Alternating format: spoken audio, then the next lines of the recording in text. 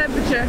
Um, it's pretty cold. It's about it's a good temperature for an ice bath. So uh, maybe when the waves come down a little, uh, we'll go for a little swim this evening. Do some recovery. Yeah, a little recovery.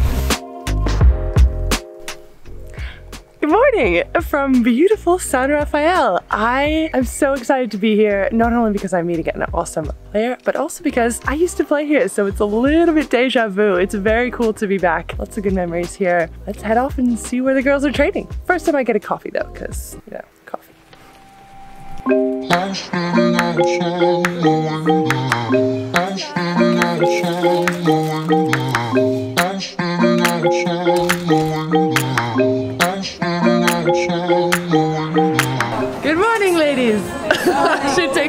Hair. Gotta look good for the camera. Gotta look good. Hi. Hey, go hey. Love your t-shirt. I hope I look like an athlete. Mm -hmm. Just gotta wrap the shirt for the video. For sure.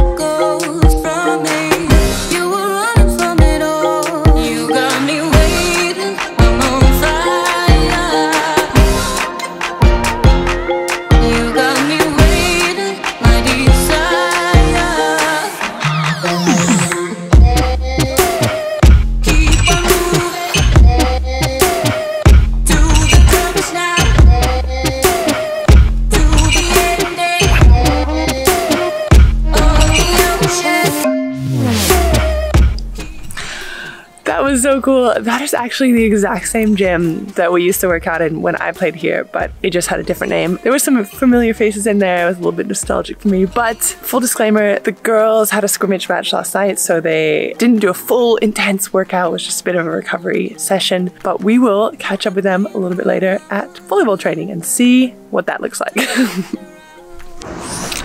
And here we are, back where it all began. That's not true. It's not true at all. I only played it like three years ago. My career has been much longer than that, but it still feels really cool to be back. This gym's funny because whenever I would describe people how to get here, I'd say, you get to the roundabout, you make your left, and you'll see this big gym, this huge stadium. Okay, it's not that. It's the one right next to it, the tiny little gym right next to it.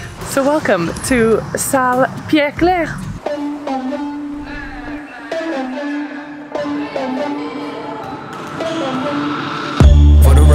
Done trying to make y'all comfortable. For the record, you ain't trying to grow, then it's done for you. For the record, lab on me going all the way. For the record, ain't trying to link, no time to waste. For the record, for the record,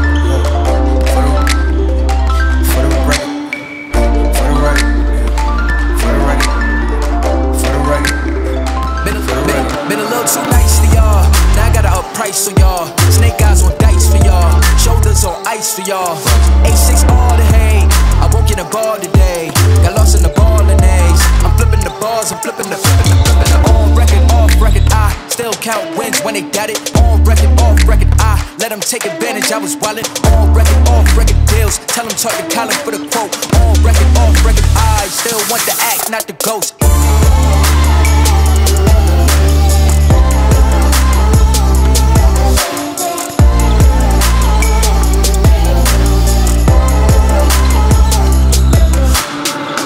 For the record, I'm done trying to make y'all comfortable. For the record, you ain't trying to grow, then it's done for you.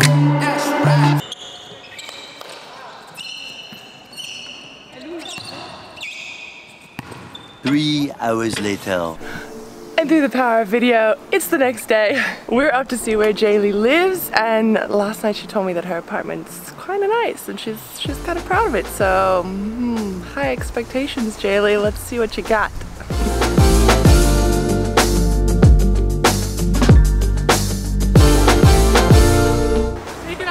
This morning. Yeah, hi. How's it going?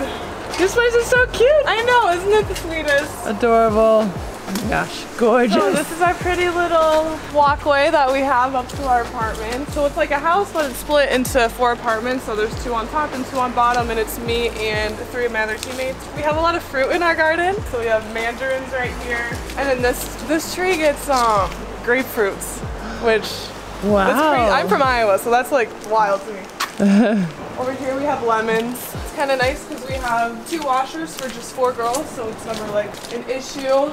This was the laundry I hung up last night, and um, it rained, so um, we'll just wait for it to dry again. Do you think I can eat it like right now?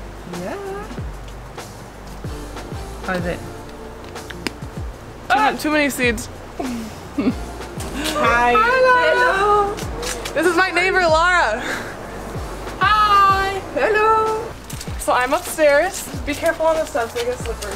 I'm already so excited to see it. it's so beautiful from the outside. That's nice. So that's like one other person lives back there.